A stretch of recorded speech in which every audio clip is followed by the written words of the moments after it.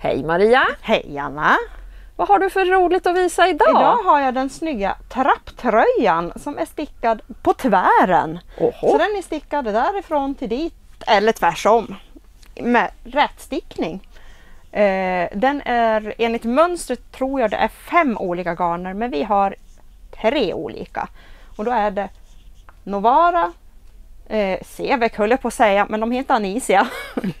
och Papyrus som bor lite längre tidigare i butiken. För nu är vi alla längst ner i våran garnbutik. Eh, och den är ju väldigt häftig när den är stickad på fel håll om man frågar mig. När den då är stickad på tvären. Ja, det är lite roligt att det är olika garn också. Ja. För det, jag ser det glittrar lite Här där. glittrar det lite och sen är det ju eh, bomull och silke om jag minns rätt. Och så är det eh, mohair, polyester, polyamid. Och så glittrar det lite igen här och var. Det är väldigt, väldigt fint.